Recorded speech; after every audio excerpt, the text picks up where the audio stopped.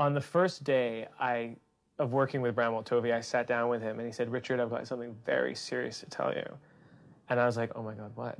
And he goes, I want you to know that when I am composing or when I am conducting, I am completely in charge. And I'm like, uh huh. Oh God, what's he going to say? And he goes, on this, I am a servant to your vision.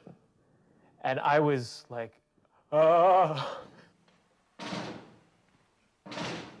Well, one of the things the two distinct time periods gave us was the ability for me to write music in the style of the 1940s. In a sense, the musical unifying factor of, uh, of the two scenes, uh, 60 years ago and uh, today, was uh, really the fact that uh, ultimately the human condition doesn't really change.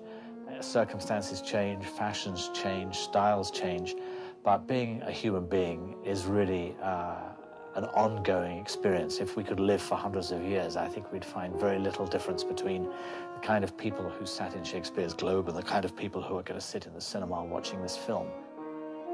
So while the script may be operatic, the score is most definitely a soundtrack. It's a, a kind of subliminal commentary on what's actually happening on the screen.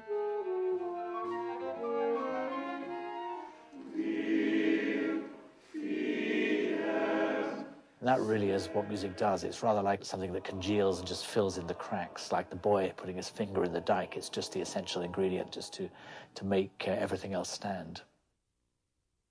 Today I was shooting uh, the scene um, in which um, Hannah is performing to the troops, and uh, it's a song called In a Heartbeat, uh, which was written and composed by Bramwell Tovey.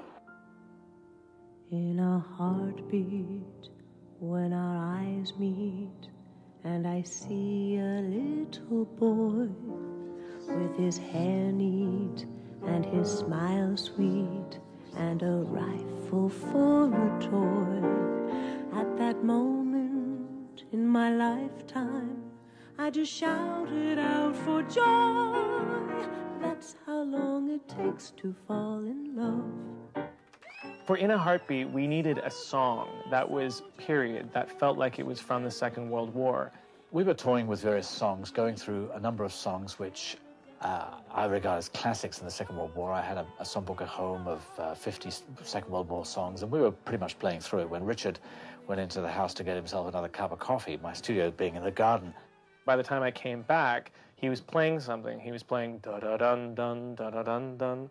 And I was like, well, that's good. What song is that? And he said, no, I'm, I'm composing right now. and I said, where did that come from? And he said, well, the grandfather says, a heartbeat.